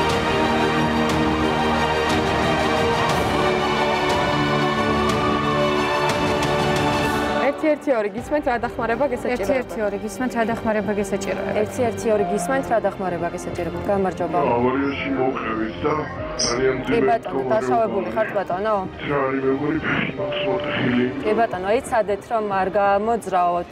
აქ შემოსული ზარი ოპერატორის ხელში, კომპიუტერულ პროგრამაში, საუბრის პარალელურად მუშავდება და შესაბამისი ჯგუფები ქვეყნის მთელი მასშტაბით იმ ლოკაციისკენ იწყებენ გადაადგილებას, რომელსაც არის ინიციატორი, გადაუდებელი დახმარების საჭიროების მქონე მოქალაქე 112-ის ოპერატორს კარნახობს. შეჯახების დროს, როცა ადგილზე მოქალაქე მხოლოდ და მხოლოდ სასწრაფო დახმარებას ითხოვს, იქ შეიძლება იყოს საჭირო სახანძრო სამუშაო სამსახურიც. იქ შეიძლება მანქანას გაუჩნდეს ცეცხლი და ამასთან დაკავშირებით შეიძლება მოქალაქემ არ თქვას არაფერი. მაგრამ აი ეს კითხვები ზუსტად ამიტომ არის საჭირო კითხვების დასმა, რომ უფრო მეტი ინფორმაცია მივიღოთ რა ხდება შემთხვევის ადგილზე. იქ შეიძლება სამაშველო ჯგუფი იყოს საჭირო, იმიტომ რომ მანქანაში იყოს გაჭედილი და ვერ აღებდეს უბრალოდ მანქანას მოქალაქე და ამიტომ ზუსტდება და ამიტომ სვავთ კითხვები. ქეთევანი უკვე 3 წელზე მეტია შეზღუდული შესაძლებლობების მქონე ჩვენი მოქალაქეების ვიდეო ზარებს პასუხობს. მოსვლის დღიდან გაცნობიერებული აქვს სად მუშაობს, რას აკეთებს და რატომ აკეთებს.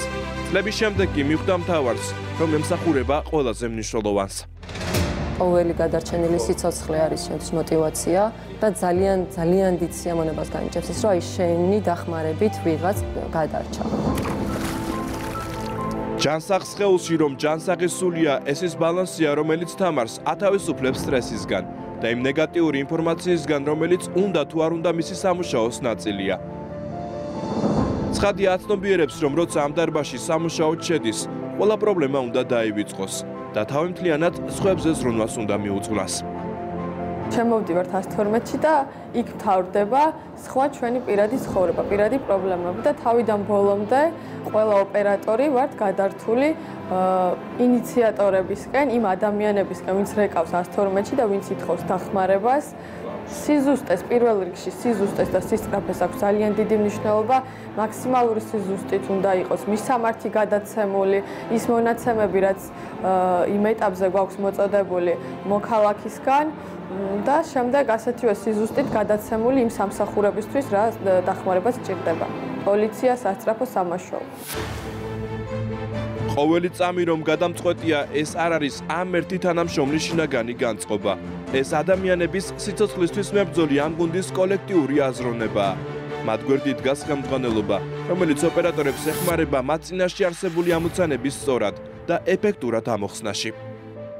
უდიდესი პასუხისმგებლობით არის გამსჭვალული თითეული თანამშრომელი, ვინაიდან ყოველი წამი ნებისმიერ სიტუაციაში, როდესაც მოქალაქეს ესაჭიროება დახმარება, ნამდვილად გადამწყვეტია და ჩვენ ყოველთვის ვცდილობთ, რომ ყოველი წამი გამოვიყენოთ იმისათვის, რომ მოქალაქე მიიღოს ეფექტური სერვისი 112-ის მხრიდან. 2021 წელს დავნერგეთ ძალიან საინტერესო პროგრამა, ამერიკული პროგრამა, რომელიც უკვე 25 წელზე მეტია ფუნქციონირებს 50 ქვეყანაში მსოფლიოს მასშტაბით. ეს არის პროქა, ანუ ინციდენტების პრიორიტეტის გამსაზღვრელი პროგრამა. პროგრამა თავადვე განსაზღვრავს ინციდენტის პრიორიტეტს და ყიციერად ხდება შესაბამისი სამსახურების მობილიზება და კიდევ ერთი მთავარი რაც არის ამ შემთხვევაში პროგრამის საშუალებით ჩვენ გვაქვს მოქალაქეებს პირველადი კონსულტაცია გავუწიოთ კონკრეტულ ინციდენტთან დაკავშირებით.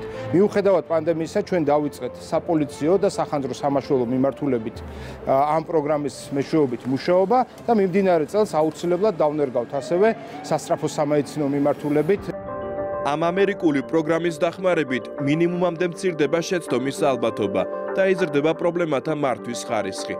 საზოგადოებრივი უსაფრთხოების მართვის ცენტრი ყველა ინოვაციას იმ უწყებებს უზიარებს. პოლიციას, სამაშველო თუ სასტრაფო სამსახურებს, რომელთა დახმარებითაც ხვალ ადამიანების სიცოცხლე უნდა გადარჩეს.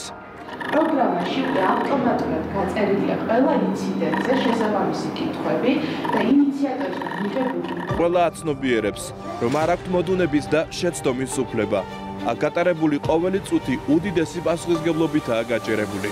ჩვენ ვართ ის ადამიანები, ვისაც უკავშირდებიან ყველაზე მძიმე წუთებში და ეს პასუხისგებლობა სრულად 112-ის ყველა თანამშრომელს გააზრებული აქვს. შეიძლება არ იყო ოპერატორი, ყოველდღურად არ იღებდეს არებს, მაგრამ ის შეგრძნება, რომ შენც ეხმარები ადამიანებს, ნამდვილად ყველა თანამშრომელს გვდევს. ქართული 112 იყო ერთადერთი ევროპის კონტინენტზე, რომელიც ექიმებთან ერთად ჩაერთო ქვეყანაში COVID-ის მართვის პროცესში და წარმატებითაც, რადგან ეს სტრატეგიული ობიექტი საზოგადოების მაღალი ნდობით სარგებლობს. კვლევების მიხედვით მათ გამოკითხულ მოქალაქეთა 84% ენდობა. აქ შრომელი ადამიანებისთვის საზოგადოებიდან წამოსული დადებითი ემოციები უმნიშვნელოვანესია. მოგვიწია ძალიან მცირე დროში ახალი კადრების აყვანა და ეს ძალიან საინტერესო იყო. იყვნენ ადამიანები, რომლებიც წერდნენ, რომ გვინდა დაგეხმაროთ, მოვალთ, მივიღებთ ჩვენ ზარებს. ანუ ერთი მხრივ, რა თქმა უნდა, იყო გაღიზიანება, როდესაც მოლოდინი უწევდა და ვერ გვიკავშირდებოდნენ დროულად, მაგრამ მეორე მხრივ ასევე ყავდა ის მხარდაჭერი ადამიანების გუნდი, რომლებიც წერდნენ და გვირეკავდნენ და გვეუბნებოდნენ, რომ მოვალთ და ჩვენს დაგეხმარებით. 112-ის თანამშრომლები არიან დედები, მამები, მეგობრები, შეყვარებულები, ადამიანები, რომლებიც ისევე ხარობენ სიცოცხლით როგორც ყველა, მაგრამ განსხვავებულად ადარდებთ სხვისი გასაჭირი. და რაც თავარია, როდესაც თქვენ 112-ზე რეკავთ და ჩვენ ვიგებთ თუ რა მისამართზე გესაჭიროება დახმარება, შესაბამისი საგანგებო სამსახურები თქვენკენ მოემართებიან. ხოლო ის დამატებითი კითხვები, რასაც შემდგომ ოპერატორი გისვამთ, საჭიროა იმისთვის, რომ შემთხვევის შესახებ სრული და ზუსტი ინფორმაცია მივაწოდოთ იმ სამსახურებს, რომლის დახმარებაც თქვენ გჭირდებათ. მოქალაქეებს მოუწოდებ, რომ არამიზნობრივად არ დარეკონ 12-ში, იმიტომ რომ იმ მომენტში, როდესაც ისინი არამიზნობრივად რეკავენ 12-ში, შეიძლება ვიღაცა იყოს ძალიან ცუდ მდგომარეობაში, დახმარება ჭირდებოდეს და ვერ დაგვეკავშირდეს. ამ სტრატეგიულ ობიექტზე მუშაობა თითოეული თანამშრომლისთვის ომის წინახაზია.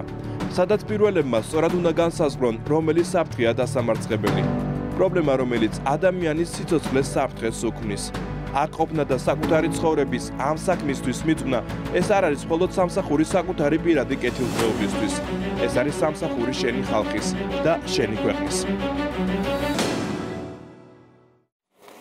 მადლობა 112-ის ყველა თანამშრომელს დაუღალავი და 24 საათიანი შრომისთვის. მომდენო რეპორტაჟიც ძალიან საინტერესოა და ვიცი რომ ბევრი თქვენგანი ელოდებით. მოძღვარი რომელიც პატიმართა სულიერებაზე ზრუნავს. კვირაში რამდენჯერმე ადრიანი დილით გლდანის ციხეში მიდის, გვიან საღამომდე რჩება და ზრუნავს, ცდილობს შეცვალოს მათი ყოველდღიურობა. წირვისას მსჯავრდებულთა ნაწილი სტიქარით იმოსება, ნაწილი ლოცულობს. ღვთისმსახურების დასრულების შემდეგ მოძღვართან სხვადასხვა თემაზე საუბრობენ. ჩევასაც ეკითხებიან. დეკანოს გაბრიელ ჩადუნელის ღვთისმსახურებას წმინდა გიორგის სახელობის ტაძარში ვარლამ ციკლაური დაესწრო.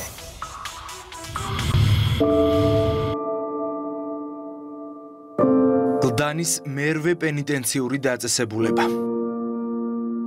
დეკანოზი გაბრიელ ჩადუნელი ამ გზას კვირაში რამდენჯერმე გადის.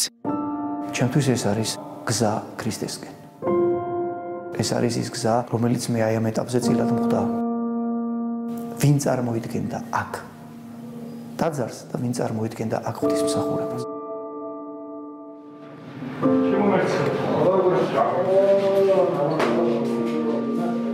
დაძარში სულიერ მოძღვარს მჟავრდებულები ელოდებიან. დეკანოზი პატიმრების ნუგეშიცაა და იმედიც. მშავრდებულთა ნაწილი სტიქრით იმოსება, ნაწილი ანალოგიასთან დგება და ლოცვისთვის ემზადება.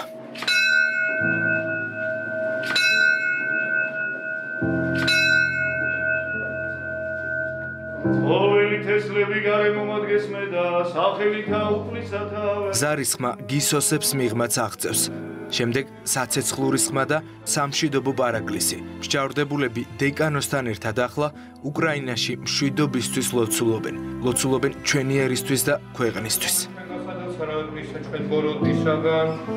დეკანოზი გლდანის მერვე პენიტენციურ დაწესებულებაში პატიმართა სულიერებაზე 4 წელია ზრუნავს.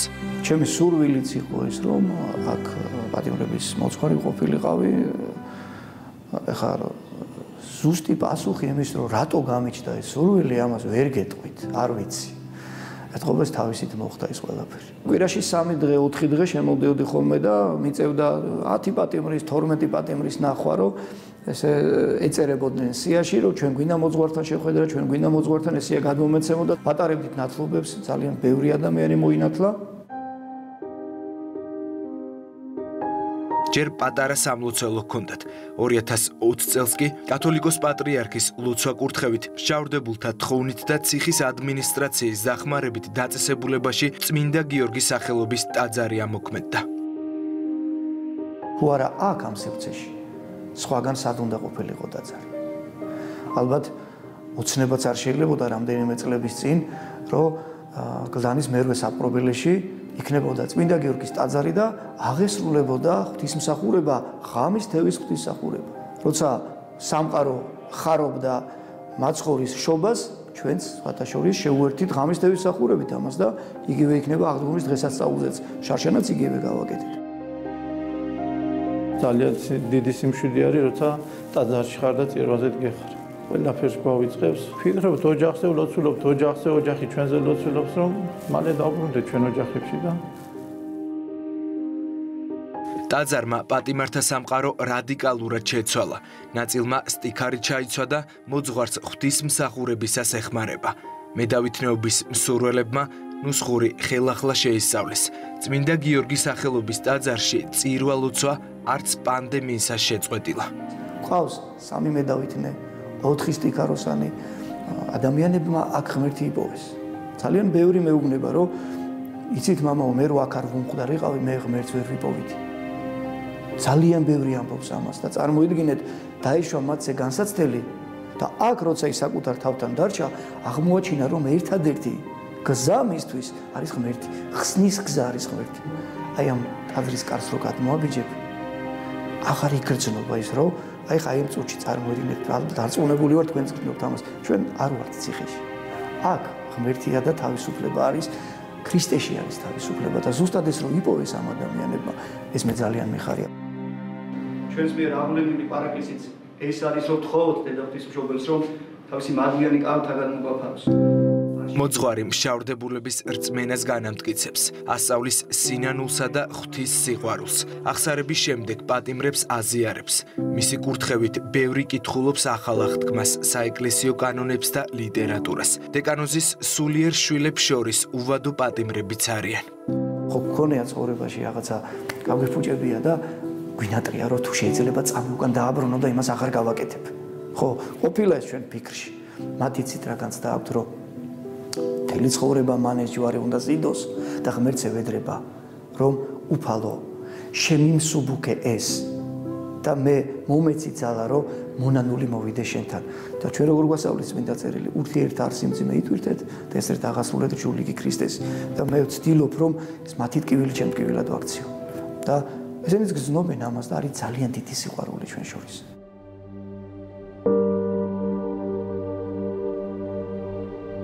21 წლის ბუბა ბარნოვი წელიწადზე მეტია გლდანის მერვე პენიტენციურ დაწესებულებაში იხდის მშავრს. გათავისუფლებამდე რამდენიმე წელია.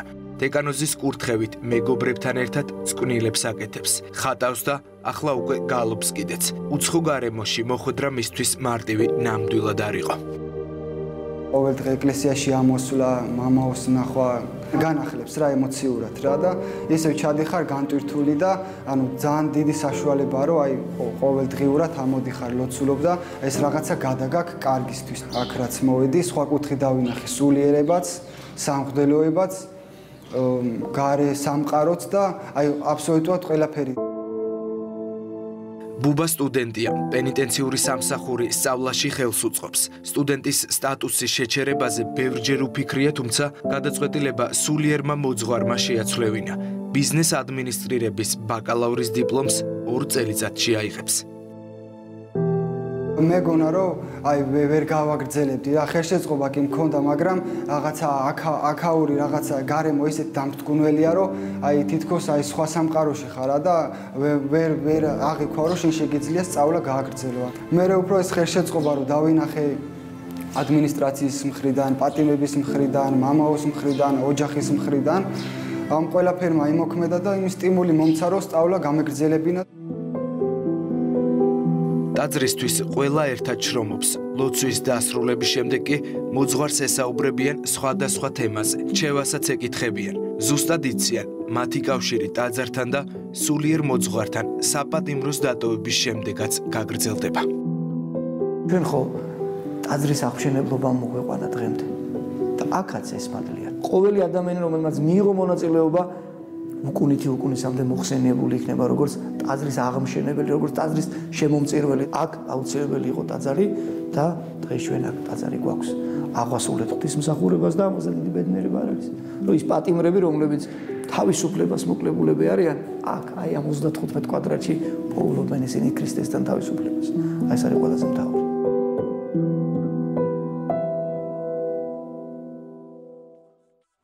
გადაცემის ბოლოს მისტიური ბაკურიანი. ნახეთ როგორ უმასპინძლა ბაკურიანმა საერთაშორისო შეჯიბრებებს და როგორია სამზადისი და მოლოდინები. 2023 წლის მსოფლიო ჩემპიონატისთვის ხილამურებითა და სნოუბორდით თავისუფალი სტილით სრიალში. ელნეცინცაძის რეპორტაჟი. აირჩიეს ფრისტაილის მსოფლიო ჩემპიონატის მასპინძელ ქვეყანად 2023-ის. შესაბამისად, იქიდან მოყოლებული უკვე სერიოზული მზადება მიმდინარეობს. ეს მოსამზადებელი ეტაპია ტესტი იმისთვის, რომ 2023 წელს ანუ ფრისტაილის მსოფლიო ჩემპიონატს ბაკურიანი სრულ მზადყოფნაში დახვდეს. დილის 8 საათია. მზედა არც ისე კარგი თოვლით, თუმცა დიდ პრობლემას არც ეს წარმოადგენს, იმიტომ რომ იდეალური ტრასის მოსამზადებლად ხელოვნური გათოვლიანების სისტემა სრული დატვირთვით მუშაობს.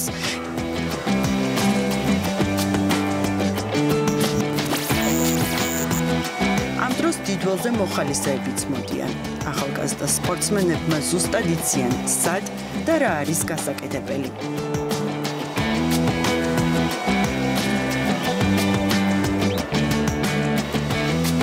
ვართ მოხალისეები, იმიტომ რომ გვიყვარს რეალი და ზამთარი და თოვლი და ამიტომ გვინდა რომ ყველანაირად დავეხმაროთ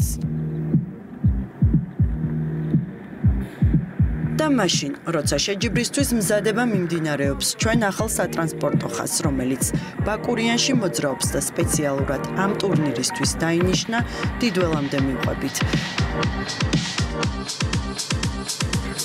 ტრასა სრულ მზადყოფნაში გვხდება. ევროპის თასისთვის ემზადება 12 ქვეყანა, ანუ 70 სპორტსმენი.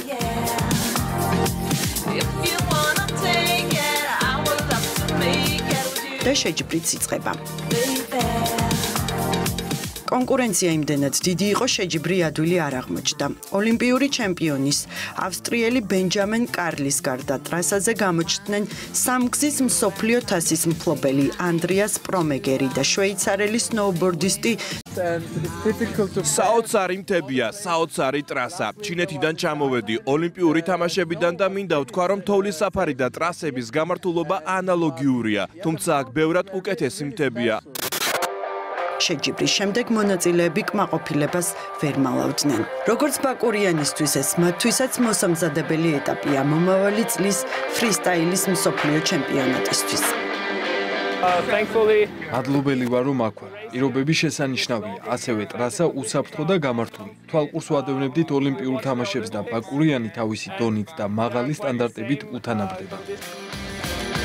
ახლა კი მეორე, ანუ სოფლიო თასის ეტაპზე უნდა გიამბოთ, რომელიც მარტში ჩატარდა.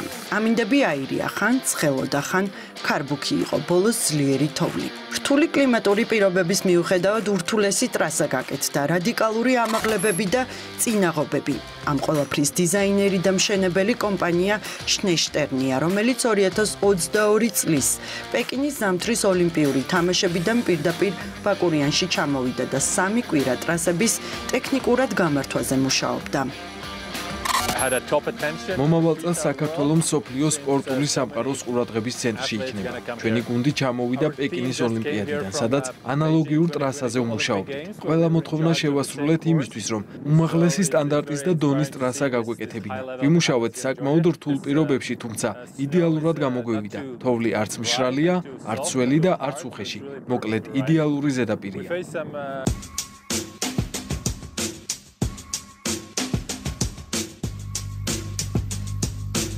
თუმცა შეჯიბრს რუსეთ-უკრაინის ომი დაემთხვა. სლოპ სტაილზე 40-მა სპორტსმენმა მიიღო მონაწილეობა. ბევრი სწორად ამ მიზეზით არ ჩამოვიდა. რუსი სპორტსმენი კი საერთაშორისო სათხილამურო ფედერაციის მიერ დისკვალიფიცირდა. შეჯიბრის დაწყებამდე სპორტსმენებმა თავისი აზრი დააფიქსირეს. ვაკეთოთ სიყვარული და არა ომი. არა ომს. მოგ ყველანაირ ძალადობას, მეგობრებს ომს, თან გაუმართლებ ომს.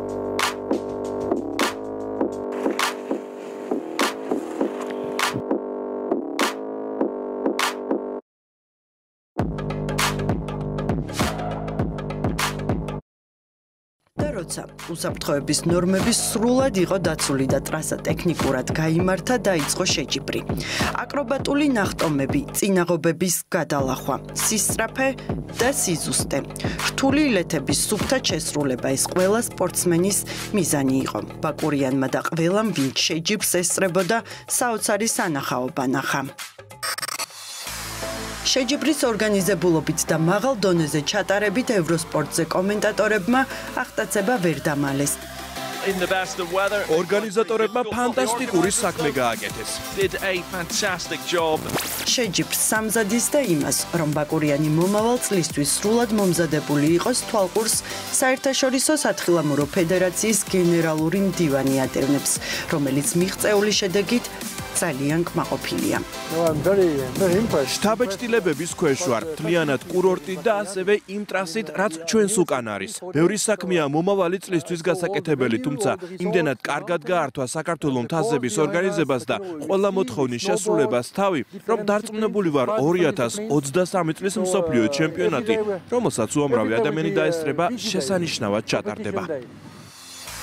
მსოფლიო ჩემპიონატის პროექტის ფარგლებში ბაკურიანში სამი ახალი საბაგირო გაკეთდა. დამონტაჟდა ხელოვნური გათოვლიანების სისტემის მესამე ფაზა.